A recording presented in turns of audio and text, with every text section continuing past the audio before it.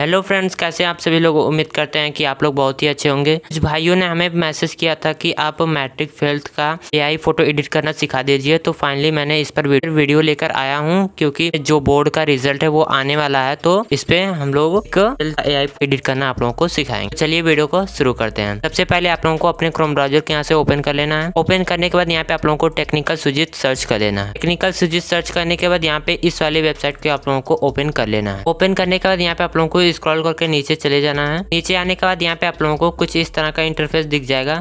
तो सिंपली इस पर आप लोगों को क्लिक कर देना है। क्लिक करने के बाद यहाँ पे ऐड आएगा, उसे आप लोगों को कट कर लेना है। इसके बाद अब आप लोगों को स्क्रॉल करके थोड़ा सा नीचे चले जाना है। अभी आप लोग यहाँ पे देख सकते हैं, हम लोग का जो प्रॉन्ट है, वो यहाँ पे आ चुका है। अगर आप गर्ल्स हैं तो यहाँ से गर्ल्स वाले प्रॉन्ट को आप लोग कॉपी करके क्रिएट कर सकते हैं। अगर आप लोग बॉयज़ हैं तो यहाँ पे बॉयज़ का कर सकते हैं। इससे हम लोगों को लॉन्ग प्रेस करके इसे आप लोगों को कॉपी कर लेना है। कॉपी करने के बाद अब आप लोगों को फ़ोटो क्रिएटर का ऑप्शन दिख जाएगा। इस पे आप लोगों को क्लिक कर देना है। क्लिक करने के बाद उसे यहाँ पे आप लोगों को पेस्ट कर देना है। पेस्ट करने के बाद यहाँ पे आप लोगों को योर नेम के जगह पे आप लोगों को अपने नेम को फिल कर देना है। जैसे कि यहाँ पे मैंने अपना नाम फिल कर दिया है तो इसके बाद अब आप लोगों को क्रिएट के ऑप्शन पे क्लिक कर देना है। अभी आप लोग यहाँ पे देख सकते हैं हम लोगों का जो फ़ोटो है, यहाँ पे बिल्कुल बन करके रेडी हो चुका है। सिंपली इसे आप लोगों को लॉन्ग प्रेस करके यहाँ पे डाउनलोड इमेज पे आप लोगों को क्लिक कर देना है जो भी फ़ोटो आप लोगों को अच्छा लगता है सिंपली इसी प्रकार से आप लोगों को डाउनलोड कर लेना है अगर आप लोगों को फ़ोटो पसंद नहीं आता तो सिंपली आप लोगों को फिर से क्रिएट के ऑप्शन पे आप लोग क्रिएट कर सकते हैं तो चलिए यहाँ पे गर्ल्स का एक फ़ोटो हम लोगों को आप लोगों को बनाना सिखा देते हैं तो यहाँ से आप लोगों को गर्ल्स वाला प्रोंट को कॉपी कर लेना है कॉपी करने के बाद अब आप लोगों को फिर से यहाँ पे फ़ोटो क्रिएटर के ऑप्शन पे आप लोगों को क्लिक कर देना है क्लिक करने के बाद यहाँ पे आप लोगों को पेस्ट कर देना है इसे आप लोगों को अपने नेम की जगह पे आप लोगों को अपना नाम फिल कर देना इसके बाद यहाँ पे आप लोगों को क्रिएट के ऑप्शन पे क्लिक कर देना है तो